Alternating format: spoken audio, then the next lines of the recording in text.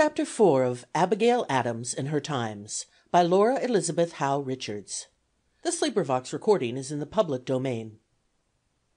The Boston Tea Party. Even though it has little to say about his domestic life, I linger over John Adams' diary. It is enthralling reading; most of it belongs rather to history than to a slight record like this; yet here and there we get pleasant glimpses of the man himself. Here he is on circuit riding through Maine, which was then Massachusetts: "Began my journey to Falmouth in Casco Bay. Dined at Goodhue's in Salem, where I fell in company with a stranger; his name I knew not. One year more, he said, would make Americans as quiet as lambs; they could not do without Great Britain; they could not conquer their luxury, etc. Oated my horse, and drank balm tea at Treadwell's in Ipswich, where I found Brother Porter, and chatted with him half an hour; then rode to Rowley and lodged at Captain Jewett's. Jewett had rather the house should sit all the year round than give up an atom of right or privilege. The Governor can't frighten the people with, etc. Sunday. Took a walk to the pasture to see how my horse fared. My little mare had provided for herself by leaping out of a bare pasture into a neighboring lot of mowing ground, and had filled herself with grass and water. These are important materials for history, no doubt. My biographer will scarcely introduce my little mare and her adventures in quest of food and water. The children of the house have got a young crow, a sight I never saw before. The head and bill are monstrous; the legs and claws are long and sprawling. But the young crow and the little mare are objects that will not interest posterity. I do not agree with you, John.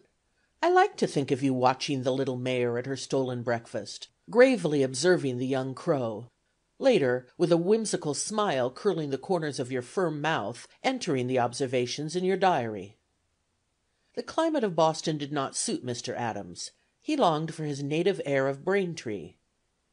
The complicated cares of my legal and political engagements, the slender diet to which I was obliged to confine myself, the air of the town of Boston, which was not favorable to me, who had been born and passed almost all my life in the country but especially the constant obligation to speak in public, almost every day for many hours, had exhausted my health, brought on a pain in my breast and a complaint in my lungs which seriously threatened my life, and compelled me to throw off a great part of the load of business, both public and private, and return to my farm in the country.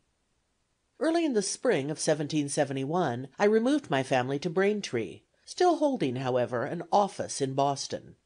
The air of my native spot, and the fine breezes from the sea on one side, and the Rocky Mountains of pine and savin on the other, together with daily rides on horseback and the amusements of agriculture, always delightful to me, soon restored my health in a considerable degree. Yet still he wondered why he was not stronger. Turning the pages of the diary we feel no such surprise. He simply overworked himself continuously and relentlessly. Now my family is away, I feel no inclination at all, no temptation, to be anywhere but at my office. I am in it by six in the morning, I am in it at nine at night, and I spend but a small space of time in running down to my brother's to breakfast, dinner and tea. Returned at night to Braintree. Still, calm, happy Braintree, at nine o'clock at night. This was no way to live, John, for any length of time. Small wonder that in November, 1772, he moved once more into Boston, having purchased a house in Queen Street, "where I hope I shall live as long as I have any connection with Boston." How Abigail liked this toing and froing we do not know. She is silent, and John has little to say about her. Now and then we find an entry like this.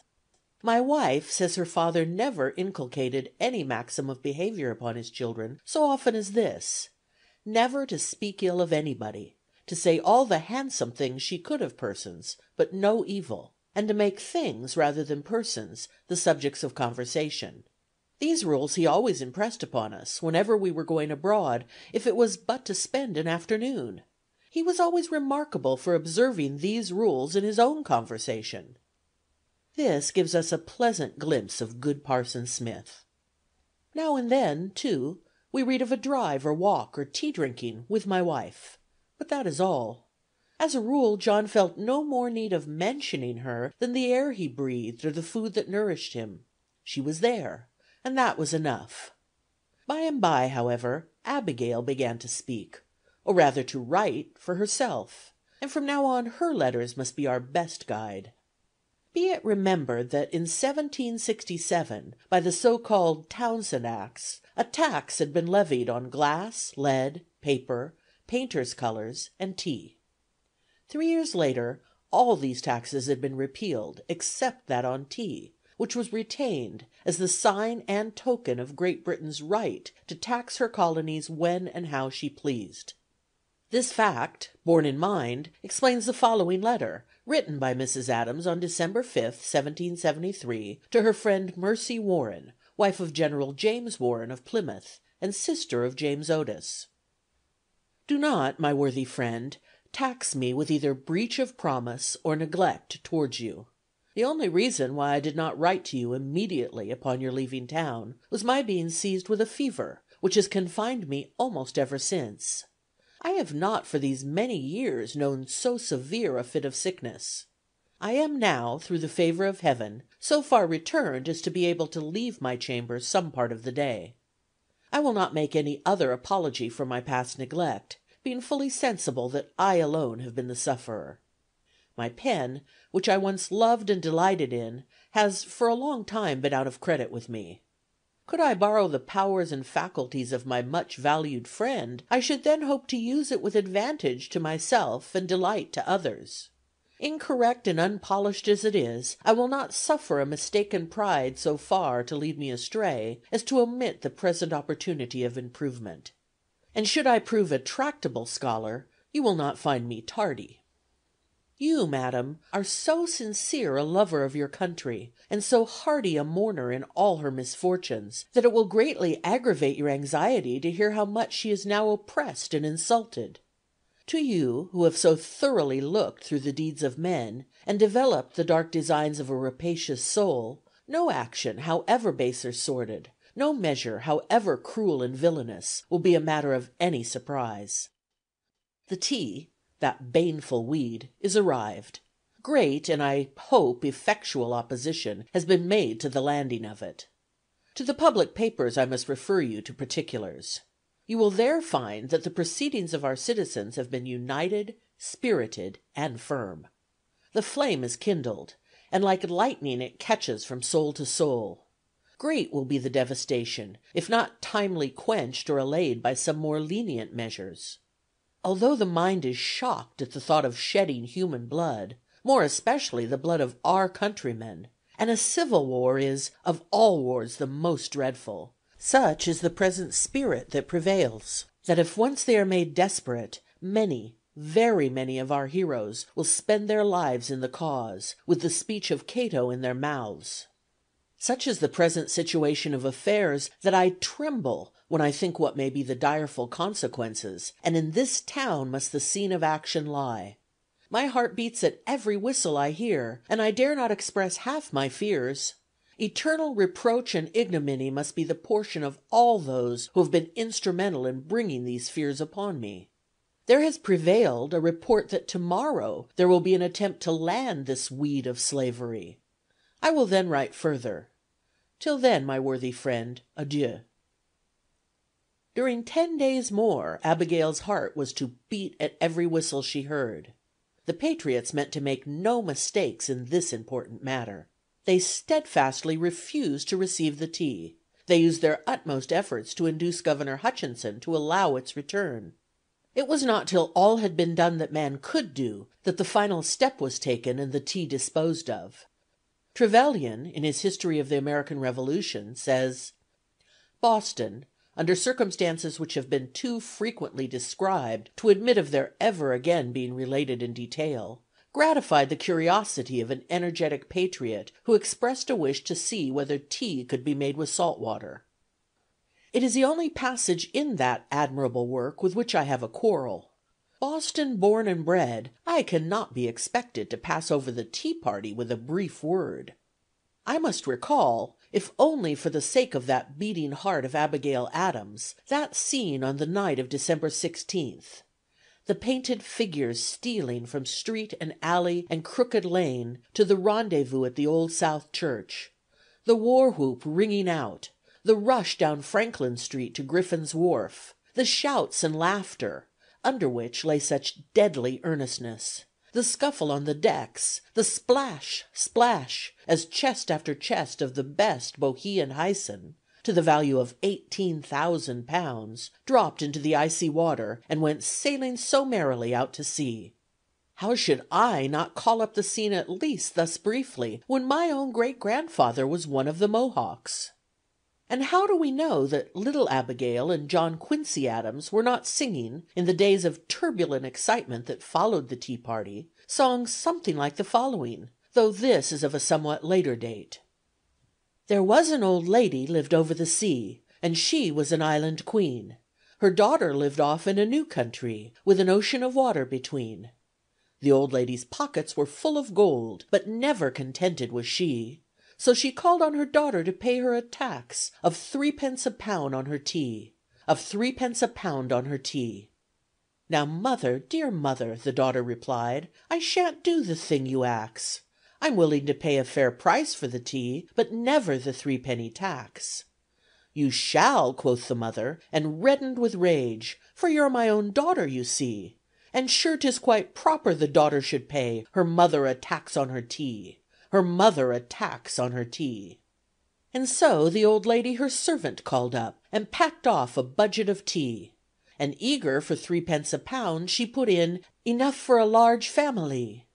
She ordered her servant to bring home the tax, declaring her child should obey, Or old as she was, and almost woman grown, She'd half whip her life away, She'd half whip her life away.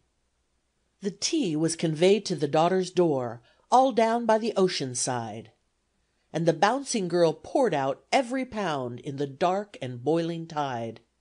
And then she called out to the Island Queen, "O mother, dear mother," quoth she, "Your tea you may have when 'tis steeped enough, But never a tax from me, No, never a tax from me." The diary has little more to say than Trevelyan. We read: "Twenty eight chests of tea arrived yesterday, which are to make an infusion in water at seven o'clock this evening," and the next day: "Last night twenty eight chests and a half of tea were drowned." It is clear that Mr. Adams knew what was to be done. He never knew the names of the doers, steadfastly refusing to be told. "You may depend on it," he says, writing to a friend in 1819, "that they were no ordinary Mohawks. The profound secrecy in which they have held their names, and the total abstinence from plunder, are proofs of the characters of the men. I believe they would have tarred and feathered any one of their number who should have been detected in pocketing a pound of Hyson." The following year, 1774, was a momentous one. The destruction of the tea had roused George III and his ministers to frenzy. They bent all their energies to punish the rebellious town of Boston. Edict followed edict. The Five Intolerable Acts they were called. This is not the place to name them. Be it merely said that one of them amounted practically to a repeal of the charter of Massachusetts. Early in May General Gage arrived, with full powers as civil governor of the colony, and as commander in chief for the whole continent, to see that the edicts were carried out. First came the Boston Port Bill, which closed the harbor of Massachusetts and transferred the business of the custom house to Salem.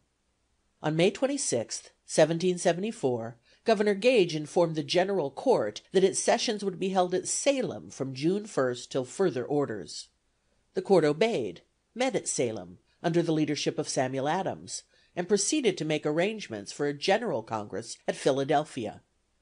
Gage, hearing of this, sent a messenger post haste to Salem to dissolve the meeting. The messenger found the door locked, nor was it opened till the congress had been determined upon, and the Massachusetts committee appointed, James Bowdoin, Samuel Adams, John Adams, Thomas Cushing, Robert Treat Paine. This was on June 17, 1774. On the same day a great meeting was held at Faneuil Hall, with John Adams as moderator, to protest against the iniquitous Port Bill. Jonathan Sewall, John Adams' bosom friend, was a strong royalist. On hearing of Adams' nomination to the projected Congress, he hastened to protest against his accepting it, with all the eloquence of which he was master. Every school child knows the answer by heart. "I know," said John Adams, "that Great Britain has determined on her system, and that very fact determines me on mine. You know I have been constant and uniform in opposition to her measures. The die is now cast. I have passed the Rubicon. To swim or sink, live or die, survive or perish with my country, is my unalterable determination." Meanwhile, on June 1st, the blockade of Boston harbor was proclaimed, and the ruin and starvation of the city zealously undertaken. "I'll put Boston seventeen miles from the sea," Lord North had vowed, and he was better than his word. The law was executed with a rigor that went beyond the intentions of its authors. Not a scow could be manned by oars to bring an ox, or a sheep, or a bundle of hay from the islands. All water carriage from pier to pier, though but of lumber or bricks or kine, was forbidden. The boats that plied between Boston and Charlestown could not ferry a parcel of goods across Charles River. The fishermen of Marblehead, when they bestowed quintals of dried fish on the poor of Boston, were obliged to transport their offerings in wagons by a circuit of thirty miles. The British troops, which had been removed after the massacre, came back into the town, sore and surly, and encamped on Boston Common. The evil days had begun. Small wonder that under such conditions as these, John Adams' heart was heavy at leaving his home, even on so high an errand as that which called him to Philadelphia. A month before this he was writing to his wife the first of the famous familiar letters. It is dated Boston, 12 May, 1774. I am extremely afflicted with the relation your father gave me of the return of your disorder. My own infirmities, the account of the return of yours, and the public news, coming all together, have put my utmost philosophy to the trial. We live, my dear soul, in an age of trial. What will be the consequence I know not. The town of Boston, for aught I can see, must suffer martyrdom. It must expire. And our principal consolation is, that it dies in a noble cause, the cause of truth of virtue, of liberty, and of humanity, and that it will probably have a glorious resurrection to greater wealth, splendor, and power than ever. Let me know what is best for us to do. It is expensive keeping a family here, and there is no prospect of any business in my way in this town this whole summer. I don't receive a shilling a week. We must contrive as many ways as we can to save expenses, for we may have calls to contribute very largely, in proportion to our circumstances, to prevent other very honest, worthy people from suffering for want, besides our own loss in point of business and profit. Don't imagine from all this that I am in the dumps. Far otherwise. I can truly say that I have felt more spirits and activity since the arrival of this news than I had done before for years. I look upon this as the last effort of Lord North's despair, and he will as surely be defeated in it as he was in the project of the tea. I am, with great anxiety for your health, your John Adams. Abigail was probably visiting in the country at this time, but shortly after, John moved his family once more to Braintree, to prepare myself as well as I could for the storm that was coming on. He rode his circuit as usual, but for the last time. His letters are full of foreboding, full also of courage and resolve to meet whatever fate held in store. Let us, therefore, my dear partner, from that affection which we feel for our lovely babes, apply ourselves, by every way we can, to the cultivation of our farm. Let frugality and industry be our virtues, if they are not of any others. And above all cares of this life, let our ardent anxiety be to mold the minds and manners of our children. Let us teach them not only to do virtuously, but to excel. To excel they must be taught to be steady, active, and industrious. He is not too anxious to give his usual keen attention to all he sees and hears. From York he writes. This town of York is a curiosity in several views. The people here are great idolaters of the memory of their former minister, Mr. Moody. Dr. Sayward says, and the rest of them generally think, that Mr. Moody was one of the greatest men and best saints who have lived since the days of the apostles.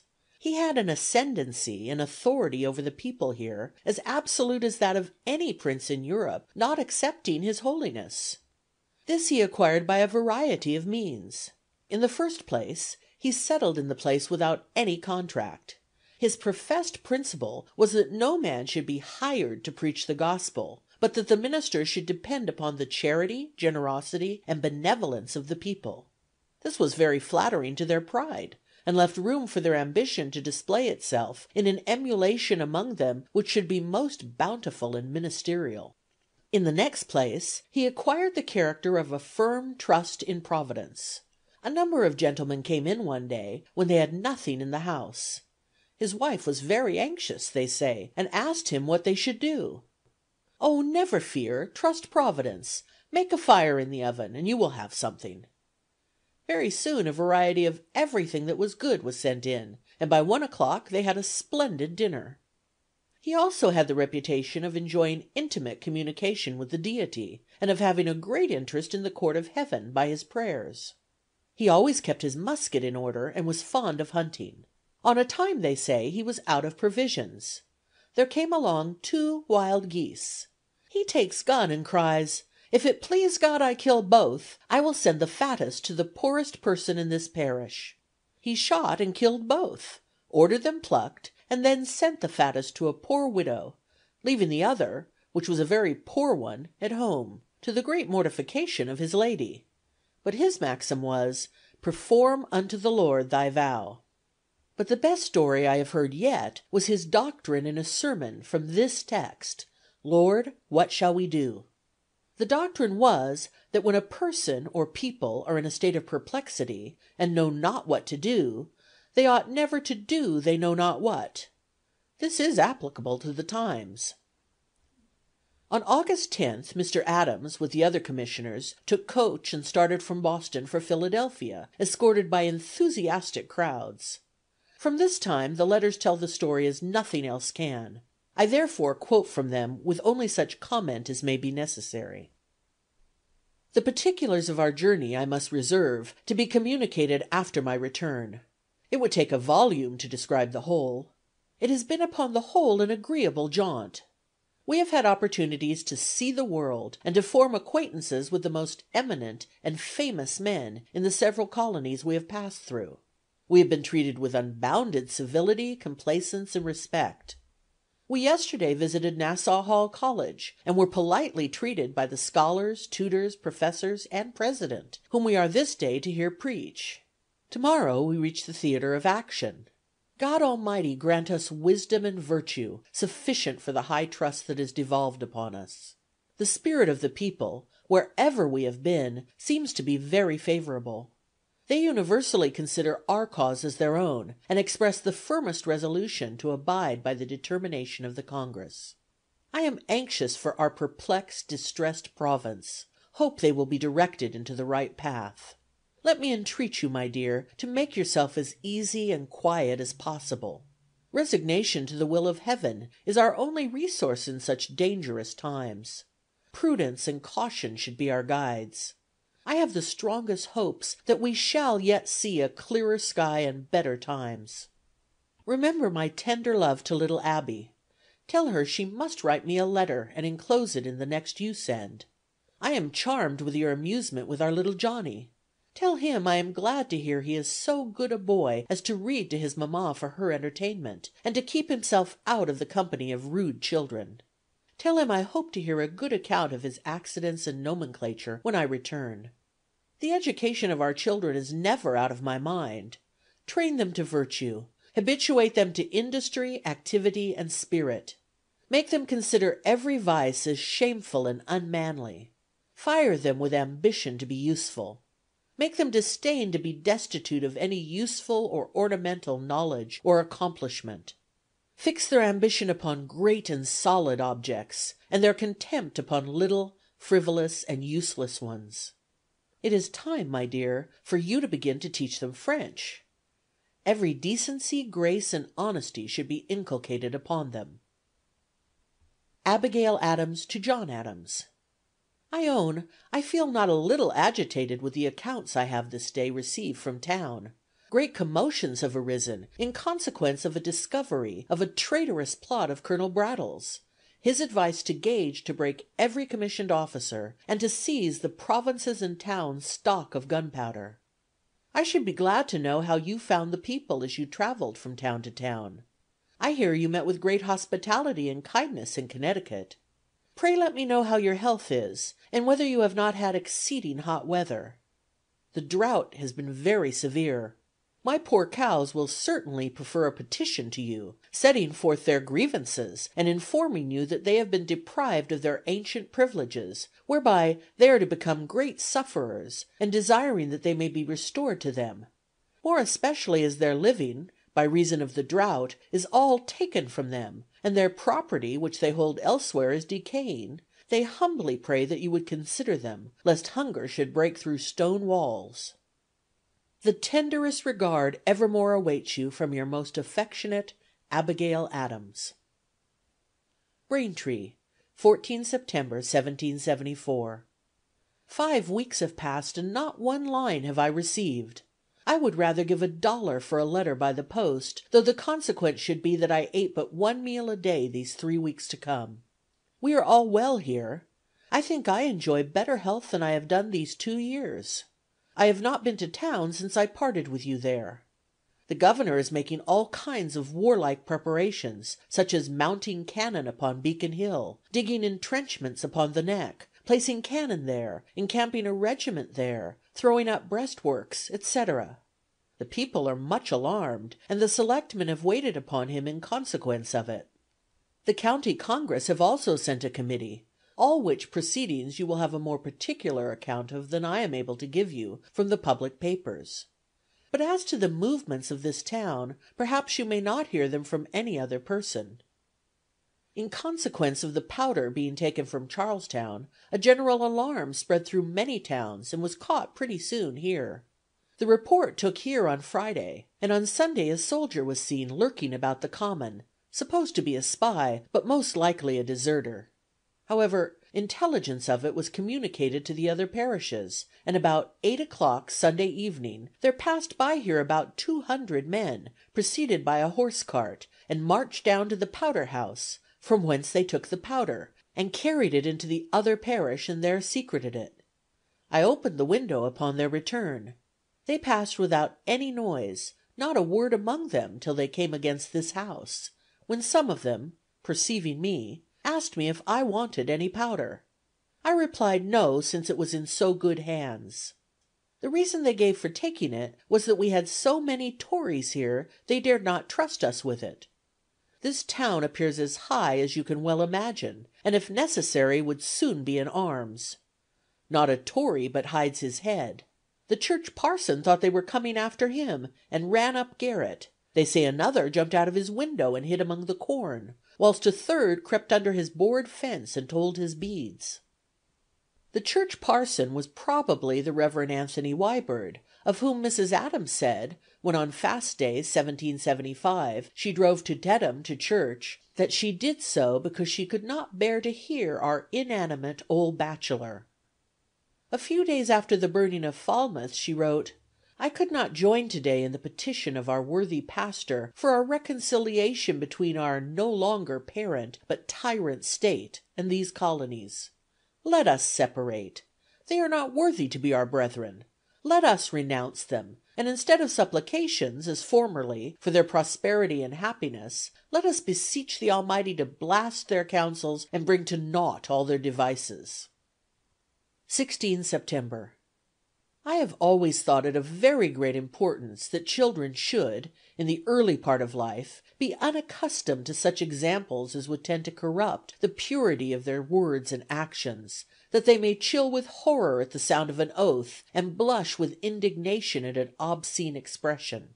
These first principles, which grow with their growth, and strengthen with their strength, neither time nor custom can totally eradicate. John Adams to Abigail Adams. Philadelphia, 20 September, 1774. I am anxious to know how you can live without government; but the experiment must be tried. The evils will not be found so dreadful as you apprehend them. Frugality, my dear, frugality, economy, parsimony, must be our refuge. I hope the ladies are every day diminishing their ornaments, and the gentlemen too.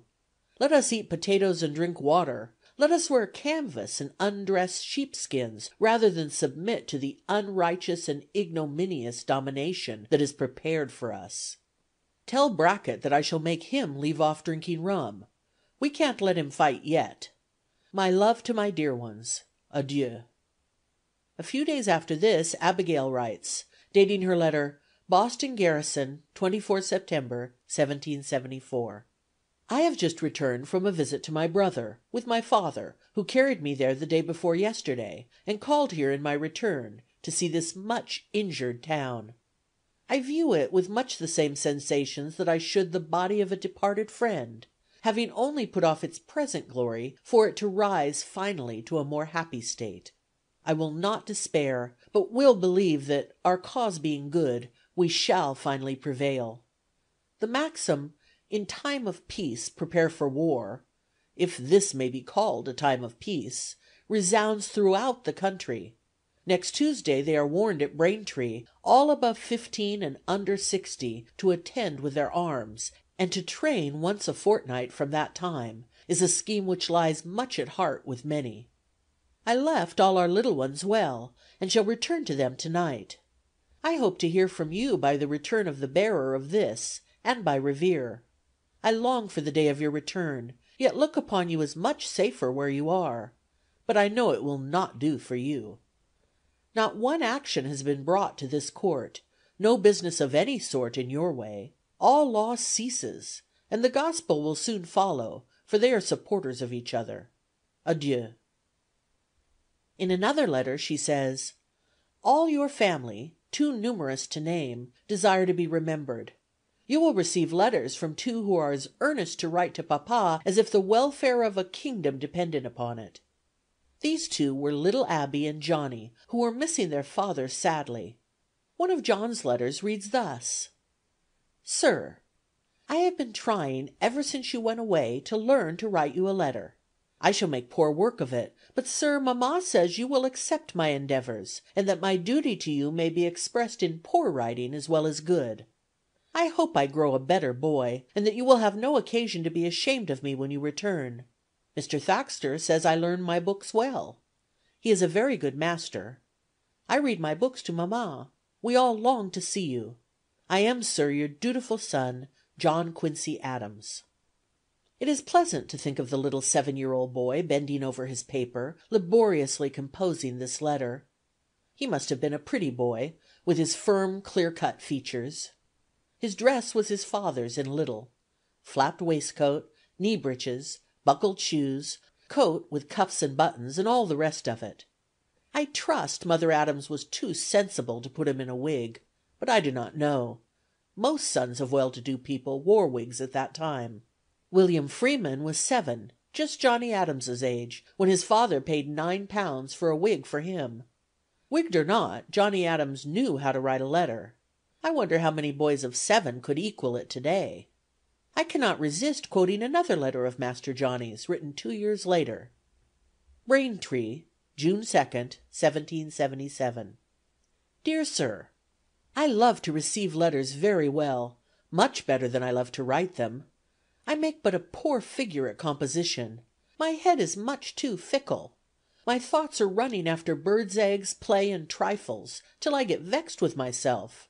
Mamma has a troublesome task to keep me a studying. I own I am ashamed of myself. I have but just entered the third volume of Rollin's Ancient History, but design to have got half through it by this time. I am determined this week to be more diligent. I have set myself a stint this week, to read the third volume half out. If I can but keep my resolution, I may again at the end of the week give a better account of myself. I wish, sir, you would give me in writing some instructions with regard to the use of my time, and advise me how to proportion my studies and play, and I will keep them by me, and endeavor to follow them. With the present determination of growing better, I am, dear sir, your son, JOHN QUINCY ADAMS. P. S. If you will be so good as to favor me with a blank book, I will transcribe the most remarkable passages I meet with in my reading, which will serve to fix them upon my mind. Johnny's taste in poetry was less mature. Writing in later years of these times, he says: "With these books (a copy of Shakespeare) in a closet of my mother's bedchamber, there was, in 1778, also a small edition in two volumes of Milton's Paradise Lost, which I believe I attempted ten times to read, and I never got through half a book. I might as well have attempted to read Homer before I had learned the Greek alphabet. I was mortified even to the shedding of solitary tears that I could not even conceive what it was that my father and mother admired so much in that book, and yet I was ashamed to ask them an explanation. I smoked tobacco and read Milton at the same time, and from the same motive to find out what was the recondite charm in them which gave my father so much pleasure. After making myself four or five times sick with smoking, I mastered that accomplishment, and acquired a habit which thirty years afterward I had more difficulty in breaking off. But I did not master Milton. I was nearly thirty when I first read the Paradise Lost with delight and astonishment."